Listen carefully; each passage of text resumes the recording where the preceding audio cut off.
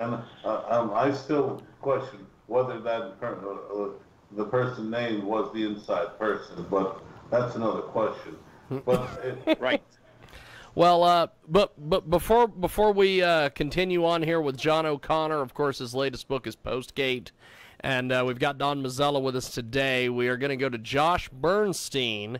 Uh, he, of course, is from the Josh Bernstein Show, and uh, we were talking a little. There it is, Truth, the new hate speech. Great T-shirt, sir. Um, tell us a little bit about this uh, Kamala Harris stuff that you've that you've uncovered here. Well, first off, um, you know, uh, I just want to say that you know through a lot of thought and uh, a lot of prayer, um, I've decided now to be much more pro uh, mask. So I've decided, I've decided now that uh, I'm going to be more pro mask. So you're just wearing it. You're just wearing the, the old the old Bray Wyatt sheep mask. that's right. That's right. but, um, but um, here, let me tell you about here, let me tell you about Kamala Harris. Yes, First yes. off- Tell tell me off- and John and Don about First this. off, first off, she's not she's not authentically black. She's not quote African American. She is Jamaican. She is Jamaican and she is Indian. Now, I'm not faulting her for that, but I'm faulting the media for saying that she's African American, which in case she is not. Okay? That's number one. Number two, I find it very ironic that the majority of the base of supposed supporters of Kamala and, and the Joe ticket are out right now rioting and looting and fighting against police enforcement, and yet Biden put the top cop from California as the Attorney General on the ticket with him. Meanwhile, you have Democrats across the country right now passing legislation to defund the police. I mean, it makes zero sense for Kamala to be on this ticket. And here's the number one thing. Kamala is a phony, and I'm glad that the Trump administration immediately came out with the fact that she is indeed a phony. She's a phony She's for a lot of reasons, but one main reason is that she attacked Joe Biden for busing. She attacked Joe Biden for being close to segregationists. She has said that she is in favor of reparations and, you know, for slavery. However, however, she has never acknowledged the fact, nor has the media done their job, which is what I'm going to do right now, and expose the fact that she is the descendant of slave owners. Okay? Yes, I've That's heard a this. fact. That's not BS, and I'm going to go through it right now. Listen to this. Kamala's father, Kamala's father uh, Donald Harris, who is about as close to her as, I don't know, maybe the Milky Way galaxy is to Earth, uh, said recently in his book, which was uh, titled Reflections of a Jamaican Father, that Kamala Harris is the descendant of slave owners. Now, again, I'm not faulting her for her ancestry. I'm pointing out the hypocrisy here. Kamala's father, Donald Harris, um, wrote the book uh, Ref- Reflections of a Jamaican Father. In the book, Harris wrote about family's history, and in particular, that of his grandparents, which are Kamala's great grandparents, were Jamaican slave owners. In fact, the town of Brownstown, Jamaica, was named after Hamilton Brown, her great grandfather. Now, according to the official records of the National Archives of London, Hamilton Brown owned at least 86 slaves, 56 of which were men, 30 were women. Mr. Brown even swore an oath to his registrar of slaves on September 24, 1817. Quote, I, Hamilton Brown, do solemnly swear that this list is a true and perfect list of slaves owned by me to the best of my knowledge. Every slave mentioned on this list has been possessed by me as owner, considered as most permanently settled, worked and employed in the parish of St. Ann, and without fraud, deceit, or evasion, so help me God. Furthermore, in Don Harris's book, he writes, quote, As a child growing up in Jamaica, my two biggest influences in my life, besides my parents, were my two grandmothers, Missy Chrissy and Miss Iris, direct descendants to Hamilton Brown, a plantation and slave owner and the founder of Brownstown, Jamaica. There it is. There it is. Wow. Who's going, Uh, who's going to come up with this? Does the media have the media have the balls to do this? No. Uh, No. I want to I want to start with uh, our guest John O'Connor, the author of Postgate. What, what do you make of what Josh is saying there, John? Well, boy, that's well, boy, that's eye-opening to me. I know her mother is, of course, uh, Indian, and she's of the very highest caste. There's a certain caste within a caste. She's a Brahmin, and then there's a certain portion of that that's very high, high, high born. So, uh, you know, you talk about social inequality and all this stuff and privilege. I mean, this is she's got parents that are privileged, and she's a privileged person. She's lived a privileged life. And so the notion that somehow she represents something else is absurd.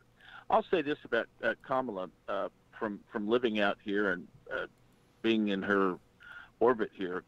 It's hard to say what she really believes, very frankly, because she's sort of a cipher. She does some things that sometimes seem a little bit toward the, you know, traditional modes, uh, but then, uh, you know, then in, in her political uh, rise, she seems to latch on to any uh, progressive idea that comes along. Oh, Green New Deal? I'll take 30 seconds to think about it and say, yeah, I'm for the Green New Deal. Now, does she really believe it? I don't know. So, what we're really doing is, once again, everyone's going to project their own thoughts and feelings on her, and they won't know what the heck she's up to, other than the fact that we know that the entire ticket seems to have been taken over by progressives. They're dictating everything. So, I think even though I uh, so Kamala doesn't probably have a core set of principles or beliefs, but I think she's going to probably have to ride along with the progressives, isn't she? And if she does that, where is our country headed? I don't know. I don't know that uh, that there's a good road ahead if if Biden's elected. There won't be. Uh, you're absolutely correct, and you're right. She does change uh, positions constantly. She's extremely far to the left. You know, this notion that she's some type of moderate and that these are moderates is absolutely outrageous. I mean, the media, I, I can't even believe they have the audacity to say that this woman is some type of a moderate. I mean, this is a woman that has voted repeatedly to uh, for term abortion. She supports the Green New Deal. She supports Medicare for all. Uh, she believes in defunding the police, which is unbelievable if you think about it as a, a former prosecutor and attorney general. So she will change with, you know, the wind and say whatever she needs to say uh, in order to be in a position of power. She's a very dangerous woman, but more importantly, she doesn't resonate with people. People don't really like her, and that's Yeah. even people in the middle and on the left. She's very cold. She's very condescending. She's very nasty. She's very vitriolic. She's very uh, bitter and sarcastic and just, you know, really an obnoxious type of personality. And I can't imagine that personality winning over too many people, certainly not in the middle. Yeah. Well, one of the things she's learned, let me let me jump in there. One of the things she's learned since I first started seeing her, and I uh, I had gone to because of my buddy, I'd gone to a couple fundraisers when she was starting out as a law enforcement officer, and in California you don't have much of a choice there, so I gave her some money. Uh, And she didn't. She, she was very bad retail campaigner. One of the things I noticed lately is she she openly laughs all the time. uh, Yes. she never did before. So if you when you see pictures of her, you just think she's a cute, laughing, giggly person. It's probably the best thing she's done, given TV and and uh, and, and media. So I think uh, it was Josh might have said that who she is, uh, but I think she's affected a better public persona for uh, you know for photo ops, and that will be probably be her strong suit. Everybody will project on her that she's this uh, nice, giggly, and of course in California, a moderate person is only believes in moderate uh, deplatforming conservative speech and moderate number of people going to a moderate re-education camp. Uh, that's where we are in California. That's that's what a moderate is. Yeah, no doubt. You know what's you know what's really scary? I don't think there's a person in America that believes that the Senate, that um, Biden, Joe Biden, will survive four years in the Wh- Oh, White yeah. House. Yeah. And, and uh, whoever he chose is in effect the president in waiting, and that's a scary part. Um, uh, you know, and that to me is the scariest part of this. Uh, and also, uh, Jiggy, uh, uh, uh, Dan Perkins' partner, informs me that uh, Kamala was the girlfriend of Willie Brown. Um, Yes, this is something uh, that I have seen the last couple uh, last couple days since this was announced. That uh, Yes. What what what do you have on this, uh, Josh? Oh, well, I've been calling her for well over a year, uh, Kamala downtown on Willie Brown Harris. Um, her career was pretty much started between his legs. Yes. Um, and uh, she has done all kinds of things uh, in order to get into the position that she's in that she's in right now. Um, Willie admits it. Willie has said that uh, she has done certain things in order to be promoted, shall we say. Um, there's a reason we call her Headboard Harris or Heels Up Harris because uh, clearly she is uh, probably going to have no problem with Joe sniffing on her. That's for sure. Yeah, But you know what? This is a sad commentary upon where the American political system has gone. Yep. When Yep. Uh, you know, uh, I, I can, I can remember, um, and I'm a lot older than you, Josh, uh, uh, seeing a U.S. senator beat up, uh, his wife in front of a Democratic convention in Atlantic City, and no one saying a word, nobody reporting it Yeah. because private life was private life. Yet, uh, whether we like it or not, uh, uh, we have really descended into uh, uh, pettiness, and we're not talking uh, issues. We- uh, Right. uh, you know, my question is, uh, will they have a debate or not? Uh, I, but uh, Biden, if he was smart, would avoid the debate. Yes. Because I think he'd be killed. But uh, what do you think about that, Josh? Well, here's what I think. I, I think first off, um, if I was the Trump campaign, I would be on speed dial with Donald Harris right now and asking him to become a speaker at the RNC convention, the virtual convention, so that he can call out his daughter. Uh, That's number one. Number two. Number two, I hope that there is an actual uh, debate in which people actually go to the debate and it's actually somewhere and not just virtual because if that is the case, the Trump campaign should go. And if Joe Biden doesn't go and wants to do it through Skype or whatever, President Trump standing there on that debate stage alone by himself and that's a visual for the American people. In other words, the American people will be like, wow, President Trump is there. He's by himself. He's going to debate him through a video screen, which isn't fair because they could be telling him and teaching him what Oh to say. Oh yeah. Right? Yeah. There's all sorts. But of stuff President can Trump do. could then really look like the true leader that he already is by saying, "Hey, Joe, I'm here. You know, we could have been six feet apart. You could have worn a mask, whatever you wanted to do, but I'm here. The American people deserve you to be here, and you can't hide in your bunker and in your basement. You should call him out on it on national television. So that would be the one thing. And then, of course, um, you know, Mike Pence and uh, Kamala Harris um, should be a very interesting debate as well. Kamala's very um, vindictive, very mean-spirited. Yes. But she's not that intelligent. So if someone says something to her, she can be tripped up pretty hard. Just look at Tulsi Gabbard. I mean, Oh, Gabbard yes. absolutely w- took her from 14, 15% down to 2% within 72 hours after her shellacking in that debate. And Kamala just sat there taking notes and smiling and smirking and didn't say anything. If I was the Trump campaign, I would run Tulsi Gabbard's, you know, a minute and a half uh, destruction of Kamala Harris as a campaign ad. And at the end, I would just say, I'm Donald Trump and I approve this message. Great idea.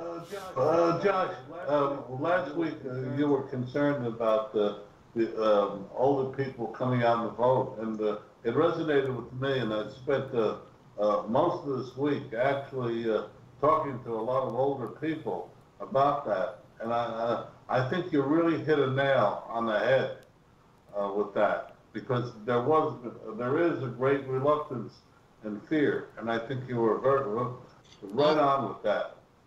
we we've got to we've got to quell that fear. Um, we've got to figure out And we've got to tell these folks that, look, you know, we're not asking you to storm the beaches of Normandy or raise the flag on Iwo Jima here. We're asking you to put a mask on if that's what you want to do. Go to the polling station and vote so that Yep. you have freedom, so that your children have freedom, and your grandchildren have freedom. That's all we're asking you to do. And if, you know, you get sick and you die, well, then, you know, it's a sacrifice for the country because you can't mail it in. I'm sorry, you just can't do it. A lot of people don't like that. They think I'm heartless. They think I'm cruel. They think I'm insensitive. I'm not. I'm not. I'm not. It's just the bottom line is that this is too important to mail it in. We cannot allow this mail-in voting to dictate this election because if we do, we're going to lose. Well, well, you know, it's very interesting. Uh, I was talking to somebody today from New Jersey, where um, uh, uh, they felt their, they felt their vote was useless because in New Jersey um, there, there was simply no chance of Trump winning and, and uh, winning that state. But, but I feel that um, uh, the vote is necessary to add to the total, the grand total. What do you say to that? I say that if more people have that attitude that their vote doesn't count, then it won't count because they won't vote, and that's a terrible attitude to have. Uh, to say that New Jersey couldn't possibly swing in favor of President Trump, um, it, you know, it, it's a pretty strong blue state. I, I would agree with that. I'm originally from New Jersey, born and raised, 21 years there, and so I know New Jersey extremely well, the entire state. I know the attitude of uh, of the Jersey folks, if you know what I mean. And um, there's many of them that are a kind of take no BS type of attitude and they can see through phoniness. So there's a lot of Trump supporters in New Jersey in different areas of the state. Of course, you do have the big cities like Newark and Paterson and you know and you know and Camden that are going to drown out some of the suburban areas and things like that around the state.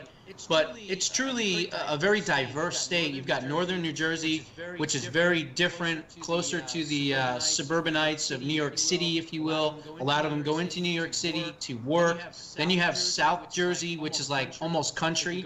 If you go real South Jersey, uh, Vineland and you know and some of those areas, and then you have the area in the middle, central Jersey, that's closer out to like Pennsylvania and Philadelphia. That that's a whole nother ball game there. And then of course you have Jersey City, and you have Hudson County, and you have Union County. So you have so many different areas, but you also have some country area out there in New Jersey too. So it's very diverse. There's a lot of different people in New Jersey, but just like many states, they're drowned out in the cities by the liberals. But uh, with the defund the police movement and you know all the violence and rioting, uh, there could be many people that normally wouldn't vote that are just so fed up. They're like, you know what? I want to be safe, and the only one that I know is going to make me safe is Trump. And who knows what can happen?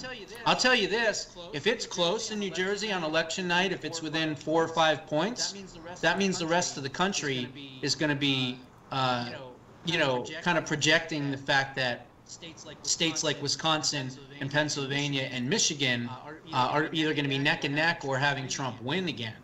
Because if it's close in New Jersey or even for New York, okay, if let's just say New York is not a blowout, let's say it's not a 30 point blowout. like it normally is, let's say Trump's within, I don't know, 12 to 13, 14 points, that means the rest of the country that's more conservative Yep. in the Midwest, he's going to be doing that much better. So keep an eye on New York, keep an eye on California. If Trump is losing on election night within 12 to 15 points instead of 30, then it could be a very, very good night for the president. Let me follow up on Yeah, jump in there, John. follow up on what Josh is, what Josh just said, and he he hit on something that's very important. There are a lot of people out there that are going to be shy Trump voters, as the pollsters call them. Uh, they, recently, they were identified as maybe being five percent of the people that are sampled. But I think what Josh is saying is that shy portion of the vote may be increasing with these latest riots and so forth. So that's going to be the big unknown. How much of that shy Trump voter is is going to be is going to show up? So it's going to be Right. very interesting, and I agree with him on on the demographics of this thing. Well, what about the fact that uh, suburban women um, uh, seem to be go- going anti-Trump? Well, Well- that's happening. That's happening. I'm married to one, and uh, she's my weather vane. She's never been wrong in the last 84 elections. You know, I kind of pull her every day. You know, if she says that she hates George W. Bush, the headline will read, Bush plummets in the polls. Two weeks later, she says, you know, I kind of like George W. Bush, and the headline will be, Bush rises in the polls. So, uh, you know, the, the, my sampling of suburban women is that it's not going very well for Trump because in the age of COVID, when people are worried about the, basics, uh, they just, you know, they blame it on Trump, and you know he's uh, that's magnified by the media, and also by his own style, which is kind of a bull in a china shop style. So they blame things Yeah. on him. It's not good for the woman who wants a nice, safe hearth and home. It, he seems his disruptive, disruptive personality does not fit with the times. That said, as we get closer to the election, I think people have got to start thinking, and they may think, and hopefully they will think, about economics. Who is the better person to lead us back economically and get our prosperity back? On that one, if people are thinking that way, Trump wins hands down. Right. Well, you see that the unemployment is down below uh, a million uh, uh, today in the, uh, the latest unemployment figures. Yep, Yeah. yep, I we've mean, got a V-shaped recovery coming. Yeah, what what do you think about that, are- Josh? Is it 10.1 or is it less than that? Because um, I think I predicted a couple of months ago that he would get down to about 9.8, 9.9%. So I was pretty close if he's at 10.1. And I think that if he can somehow reach 9%, 8, 8.8, 8.9%, somewhere around there, around election day, uh, even 8.5, then uh, I think he'll be in very good shape because, you know, then you'll have gone from 14 all the way down to 8%, and all these jobs will be coming back. So I think that would be really good. But one thing that I will touch on in what you said about suburban women suburban women that are married with children are much more uh, in tune with voting for President Trump. Uh, one of the reasons he won the election was because of those types. It's single women that maybe live in the suburbs or in the city that is his, Yeah. you know, his Achilles heel. But when it comes to a family that has children, I can't imagine a mother with children thinking to herself, gee, I really don't like his tweets, but I kind of want little Johnny and little Sally to get murdered in the street because of these rioters and looters, and we can't call the police. I can't imagine that, that conversation going on in someone's head and saying, because I don't like President Trump personally, I'm going to vote to make my community and my country less safe. You know, President Trump has a perfect opportunity as the law and order president to be the complete opposite of what they are. And if they're going to continue to push this defund the police movement, um, I think more and more and more people. I mean, look, when you have 80% of black voters saying, hey, leave the police alone, you know, we don't want you to defund our police. Uh, I think Well- that that's a big deal. Now, whether they're all going to come out to the polls, I don't know. President Trump won 8% of the black vote. If he doubles that, he's going to win this election again if they come out and actually vote. Um, I don't believe the polls that show that blacks are at 25, 30%. It would be wonderful if they are, but I don't think that's the case. I think right now he's probably between 10 and 12%. And by the time election rolls around, if he can push that number to 14, 15, 16% and pretty much double where he was at, uh, he's probably going to win. He'll probably win pretty Well, I, I, decent. agree, I agree with what Josh said there about safety being the main thing uh, that the suburban mothers care about. Unfortunately, right now, they're looking at COVID as being the big bugaboo, and if and that's why I would counsel him if I were talking to him right now. I'd say, Mr. President, just stay very calm. Things are going to get better. We'll see better on the COVID front two months from now. Just stay calm. Don't look like you're the disruptor. And now people will start thinking about the economy and about the physical safety aspect in, in light of the right. So Josh is right on it. Safety is what suburban uh, mothers are going to care about, and I hope that works in the president's favor. But here's the thing: they also understand that China caused this.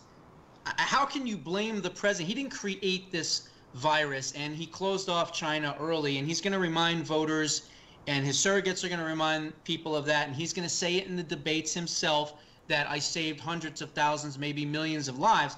So again, putting that all in context, I don't think the American people are necessarily blaming him for this virus. And uh, well, so they're I- blaming him for the way that. But let me butt in. They are blaming him, and a lot of it coming from CNN and MSNBC and uh, the Post and the Times.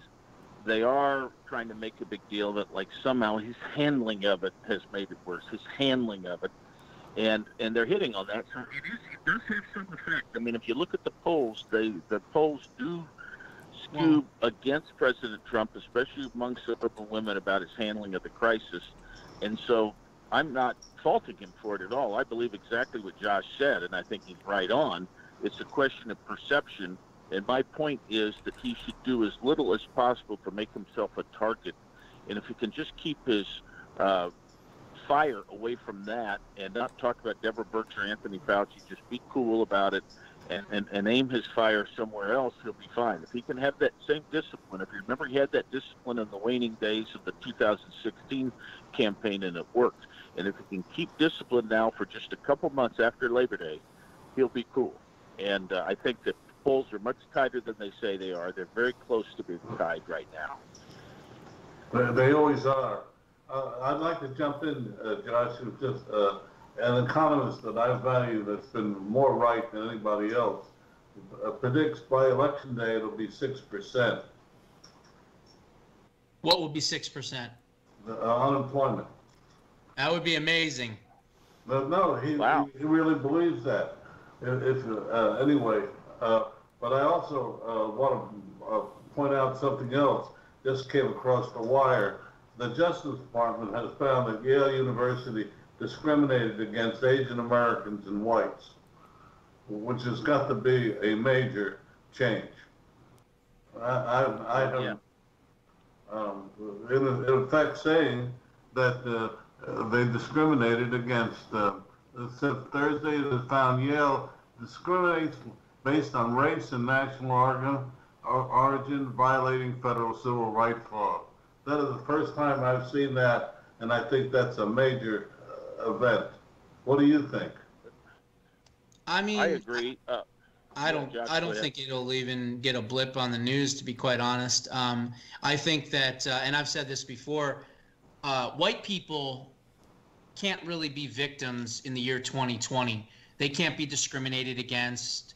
Uh, they can't be, you know, uh, prosecuted, prosecuted, you know, infa- unfairly. They just can't. I mean, that's the way that it works. That's the way the media works, unfortunately.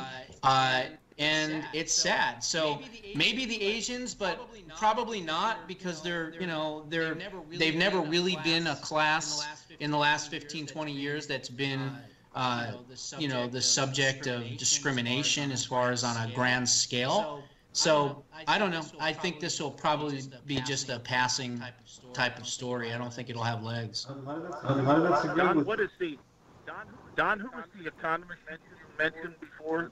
Or to back up, who's that economist or the uh, predictor on the unemployment? Oh, I'm, I'm sorry, I, I can't, uh, at this point, He can't reveal his sources. He's a journalist, for God's sakes. Okay, I got it. Okay, I didn't hear it. No, he- I, didn't I love it. name. Okay, No, okay. He shares that uh, uh, with his clients and then charges a, a great deal of money for it. And I just Okay, have to, be- okay. but, okay, but okay, I will it, say got this, that he, uh, he has been more consistently right on these numbers than anybody else over the last ten years that I've worked with him.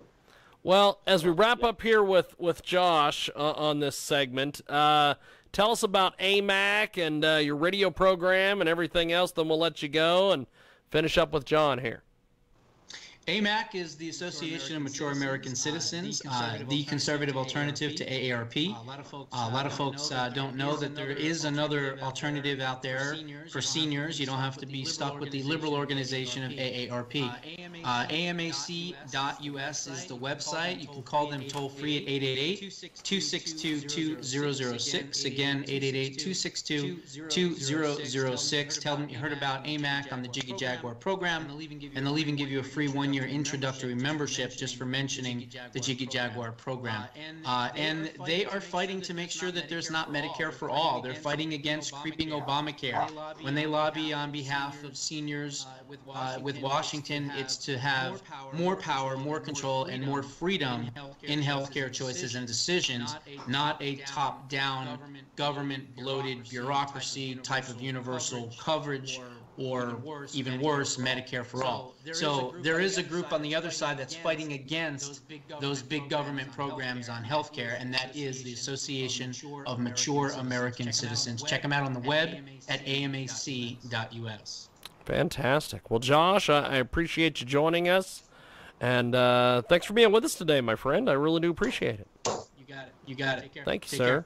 There goes Josh Bernstein uh, from the Josh Bernstein Show. And uh, we are going to continue on here with Don Mazzella and John O'Connor. So, uh, so John, tell me and uh, Don a little bit more about your book, Postgate. Well, what uh, I talk about is that I, like many other people, thought that the Watergate reporting was spot on and it would usher in a new uh, era of journalism. And uh, and I was always disappointed that uh, journalism was so bad in its wake. After I represented Deep Throat and got involved with the Washington Post, and they put my head in the dumpster enough, I began investigating whether or not the Post reporting was really as good as they say. And in fact, through my book, I document how the Post committed deliberate uh, dishonesty in coverage of Watergate and made Watergate into a false one ring circus when it should have been a three ring circus. And uh, that Richard Nixon uh, was, in fact, yes, he obstructed justice on the advice of the great John Dean, but was also a victim of the CIA and the DNC and uh, a rogue and, and Dean and, and himself. But it, the main thing here is is that the Post committed fraud, far-reaching fraud, got away with it, elevated the status of journalists. You get rich, famous, uh, everything else. If you can get a scalp, uh, they promoted journalists to an unaccountable fourth branch government, uh, which now necessarily is partisan. You're going to wear a jersey. You better be on one team or the other and get your scalp that way. So what I what I show is though, if I show I figured if I can prove definitely, and I did this, that Watergate was a fraud, what about all the other reporting that follows? And it is much, it, once you read mine, you realize that the fraud comes from concealment, from concealing material facts. That's what happened in Ukraine Gate, conceal Biden's corruption. Russia Gate, conceal the abuses of the FBI and the nothingness of the investigation. Yep. Conceal, conceal, conceal. And that is the method and we all have to be on our toes. And like somebody said, we've got to call out the media. But once you see the post in action in my book, you realize their heart and soul. I talk about you know what came from the post. I have a, a pretty good uh, intro on that one. So it's it's good reading. I try to write it like a thriller. Uh, and for those people that love uh, facts and love inferences and circumstantial evidence and getting to the truth. I, I hope it's a pretty good read. I put a lot into 275 pages. There's a lot packed in there. Uh, the, the name of the book again, because I uh, I have to tell you, I've had a, a, an online uh, editor that um, after the fact said one thing. All they had is one source, and, and they they uh, read into the ground. And, and well, I tell you, yeah, Don, uh, and Don, one of the things you might want to do is, is look and see what they had in front of them they deliberately chose to conceal. That's what's frightening, including some of the stuff that Mark Felt told them. Remember, my, the title of my book is Postgate, How the Washington Post Betrayed Deep Throat, covered up Watergate, and began today's partisan advocacy journalism. A lot of Deep Throat's uh, insights they completely ignored and covered up. And they had it there, and that's just one of the things they covered up. But uh, so that's for, for you, Don, as as a news guy, journalism guy, I think you'll be fascinated by what they did. Uh, um, I have to get the book now, uh, John. We- we, uh, Um, um, my editor at the time, uh, Al DiPolo, you, you know, uh, he said many of the things you just said. And, and uh, he was a, a, a news editor in Newark, New Jersey, never got involved, but the, he, he, he just figured there was a lot more to the story.